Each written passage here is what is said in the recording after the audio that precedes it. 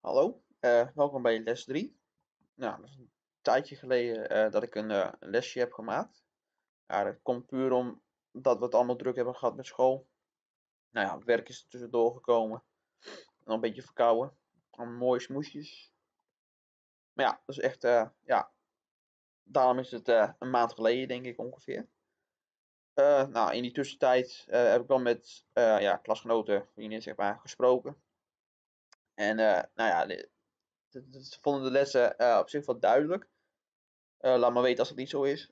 Maar dus het kwam er wel op neer dat de lessen gewoon wat langer lang duren. Ja, dit is ook wel zo, een half uur is gewoon heel erg lang. Dus ik, ik wou het in de, in, ja, in de toekomst wat anders aanpakken. Ik wou in twee lessen in een week doen. Klinkt heel veel. Maar dus één, één les wordt een, ja, gaan we bezig met onze template. Eh, en dan wil ik dan in template kan je bijvoorbeeld ook je lijndiktes kan je aanpassen. Je kan eh, jouw hoogtemaatvoeringjes kan je mooi maken, hoe je zelf wil. Eigenlijk kan je gewoon alles aanpassen eh, hoe je dat zelf wil hebben. En dan wil ik dan gewoon één voor één elke stap bij langs gaan. Nou, daar ben ik ongeveer denk ik 10 à 15 minuutjes mee bezig. Nou, deze template wil ik ook gaan baseren op de basis ILS. Ja, ik weet er niet heel erg veel van. Ik ben niet een, eh, een, ja, een docent die heel veel van de basis ILS weet. Maar ik probeer het wel eh, dat, eh, dat erin te voegen. Nou, die andere tutorial, dan ga ik in 10 minuutjes, ga ik gewoon elk knopje wat het heeft, ga ik gewoon bij langs. Nou, daar leer ik zelf natuurlijk ook van. Ik weet dat een wal, wat ik daarmee kan doen natuurlijk, maar ja, er zijn heel veel, heel veel opties wat je allemaal met een muur kan doen. Je kan heel veel opties met een curtain heel veel opties met dat. Maar dan wil ik gewoon even één voor één allemaal bij langs gaan. Nou, laat me weten of jullie dit een goed idee vinden. Eh, voor de rest, eh, nou, we gaan het vandaag even hebben over meshing. Eh, rare vorm maken. We gaan een flatgebouw maken. Ja, in die flatgebouw gaan we vloeren in ja, plaatsen en er wordt een mooi vlies gegeven aan de buitenkant. Met een hele rare vorm. En het laatste wat ik even over wil hebben is dit rare gele dingetje. Nou, als ik, eh, zoals jullie al misschien hebben gezien hoor, de, als ik iets doe op mijn toetsenbord of met mijn muis, dan, dan neemt hij dit op. Waarom doe je nou niet geen shift? Right.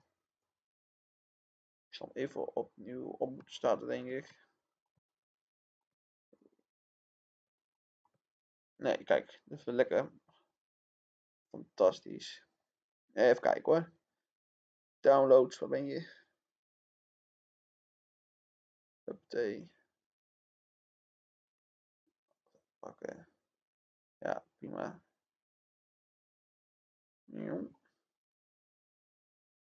Zo. Even kijken hoor. Ja, kijk, je, nu uh, neemt hij ook alles op wat ik uh, met mijn toetsenbord doe. Uh, nou ja, zoals jullie zien, hè, dan hoef je niet echt, als ik iets vergeet uit te leggen, dan, uh, dan doet dat gele dingetje het. Maar goed, we gaan even beginnen. Nou, laten we beginnen met de, ja, met de meshing dingetjes. Nou, dit gaan we maken, deze vorm. Het ziet er allemaal ingewikkeld uit, het valt best wel mee. Selecteren we eventjes alles. Ik selecteer even alles en ik verwijder het eventjes. Ga even weg. Ik wil dat je weggaat. Oké, goed zo. Uh, nou, uh, als jullie hebben als nog een huisje te staan en allemaal andere dingetjes. Nou, gewoon even alles selecteren. Zo, en dan deleten. Ehm, nou, dan ben ik naar Zoutgevel gegaan en ik heb even allemaal verdiepingjes erin gezet. Uh, nou, hoe deden we dat ook alweer? Je kan rechtermuisknop doen, create similar. En dan zeg je, uh, nou hoe hoog je moet hebben, maakt niet uit hoor. Nou, nou lekker niet, ja 1500. Ah, bouwbesluit. Uh, of je kan naar, naar architectuur en je kan levels maken. Op die manier. Goed. Als we allemaal levels hebben gemaakt, gaan we naar file. Als we dan naar meshing site gaan en we zeggen van ik wil een nieuwe in-place mesh. Dan zie je hier al wat ik iets heb, heb gemaakt. Even dat het weggaat. Zo. Maar oké, even in-place mesh. En dan doen we hem even raar. Want we gaan een rare vorm maken. Nou, krijg je hierboven krijg je je palet.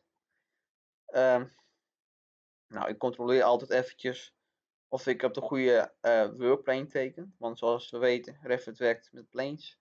Nou, prima zeg hij. Nou, mooi. Nou, dan uh, kies ik. Nou, voor de grond kies ik een cirkeltje. Waarom ook niet? Als ik dan uh, bij, bij, ja, bij plane, ik kies bijvoorbeeld verdieping 1. Nou, kan ik zeggen van ik wil nu hier een beginsel met, van mijn rare vorm. Zie je dat ik hem niet zie, hè? Nou, super irritant. Gaan we even naar verdieping 1, dan zie ik hem wel. Raar. Nou, goed. Uh, je allemaal rare vormpjes op de verdieping. Of uh, dat teken ik gewoon even, maar ja, dat gaan we doen. We gaan, dit wordt de basis van alle rare vormpjes. Ja, dat kan, dat kan hartstikke mooi. Nou, uh, je kan niet hierop aankoppelen. Dat, kan gewoon niet. Uh, nou, dan. Oh ja, zo, dit is even geen. Nee. Uh, nou, ik heb dus met die kan je dan kan je mooi rond laten aansluiten. Prima. Als we nu naar 3D gaan, dan zien we dat we dit hebben getekend.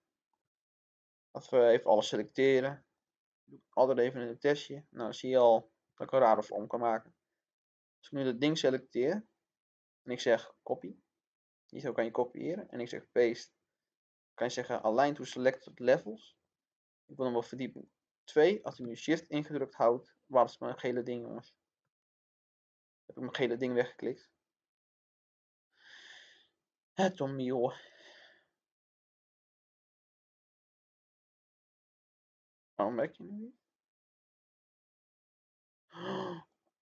Hij was verstopt.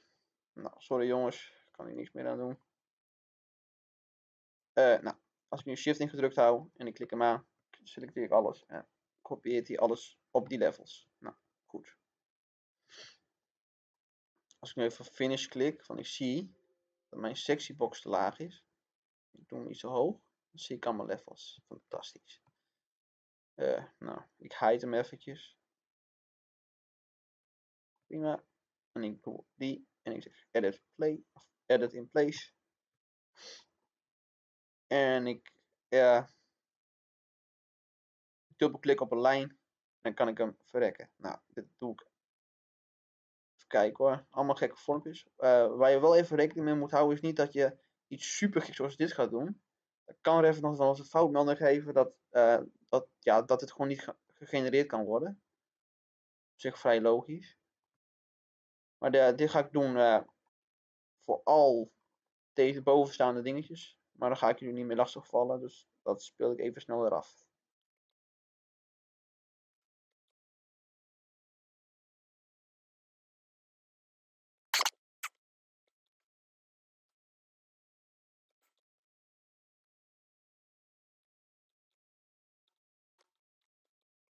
Nou, ik heb uh, allemaal gekke vormpjes bedacht. Uh, deze twee haal ik gewoon even weg. Gewoon geen zin in om te doen. Dan, uh, als je aan de bovenkant ziet, dan zie je dit. dan zie je ongeveer, met een beetje fantasie, zie je hoe het gaat worden. Als we dus nu alles selecteren. En ik zeg create solid form. Krijgen we hier onze gekke vorm. Wow. Fantastisch. goed. Nou, gaan we even op finish klikken. Als we nu naar Messing Inside gaan en we uh, klikken op floors en we klikken, oh wacht, klikt hierop op de mas en dan klik ik mesh floor en dan zeg ik van die tot en met nou, bovenste twee de shift ingedrukt houden, uh, vinken en dan gaat hij daar planes tussen maken zoals jullie kunnen zien. Nou ja, van deze planes kunnen we zo meteen weer een vloer koppelen. Dat doen we door. Zeg je dat goed? Architecture floor, daar klik ik op bij face. Ja, dat was hem. Dan klik je dus bij ja, bij face. Dan klik je die aan, hou je ctrl ingedrukt, hou je, ga je alle floors bij langs. Nou, hier vloer 150, nou, mooie maat. En dan zie je dat even daar vloer tussen genereert. Nou, ik werk al een tijdje met messingen site, maar ik wist nooit dat dit knopje bestond. Dus ik zat altijd vloeren tussen die lijntjes te tekenen. Dat was super irritant. Dus dat moet je eigenlijk niet doen. Nou, als wij even weer deze openen.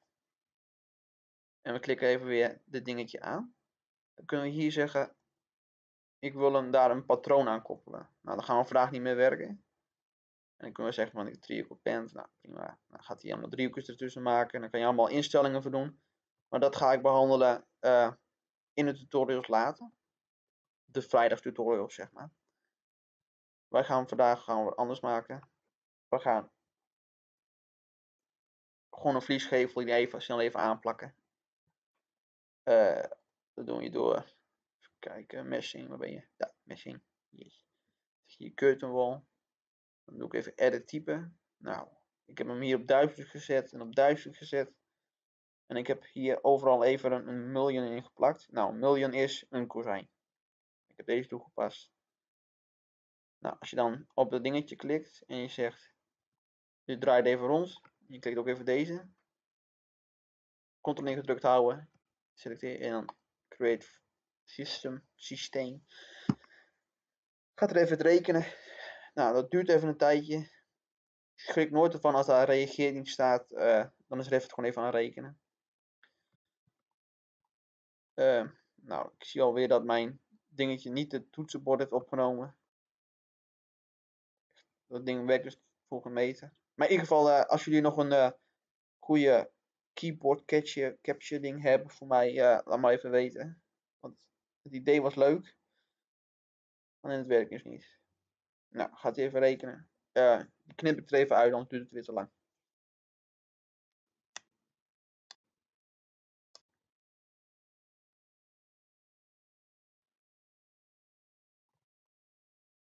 Nou goed, uh, welkom terug.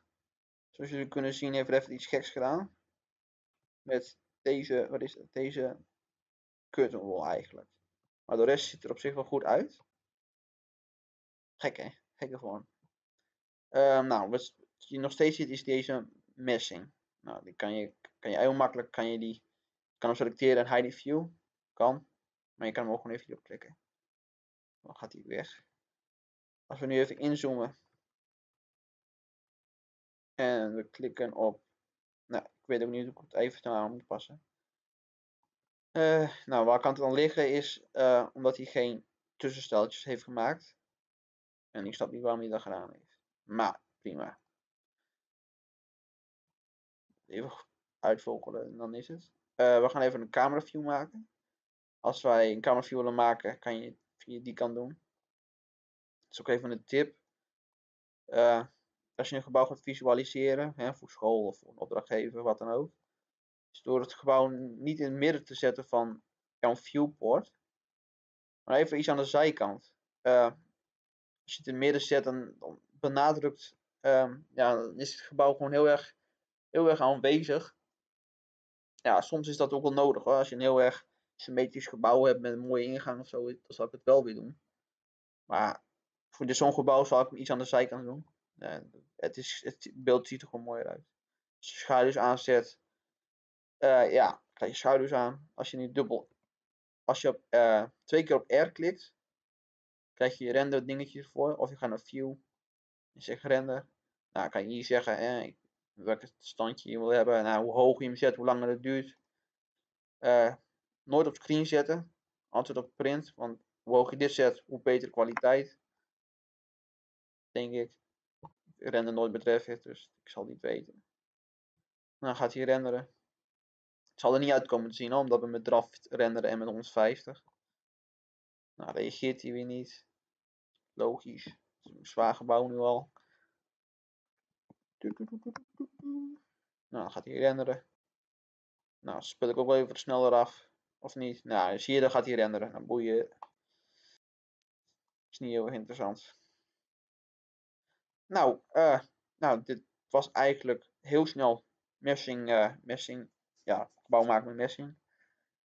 Uh, kunnen nu gewoon elke rare vorm maken. Nou ja, als je met ArchiCAD wil werken en je wil een rare vorm, maak hem gewoon in Revit, laat hem via IFC of zo in, je ArchiCAD bestand. Of werk met Rhino, nog beter. Maar ja, hier, wou ik het even bij laten. Zoals ik al eerder zei, we gaan alle knopjes bij langs. En meshing komt daar dus ook weer mee in aanbod. Dus dan ja, zie ik jullie maandag. Nou, zie jullie, ik zie jullie maandag niet, maar jullie horen mij maandag weer. Nou ja, in ieder geval tot maandag.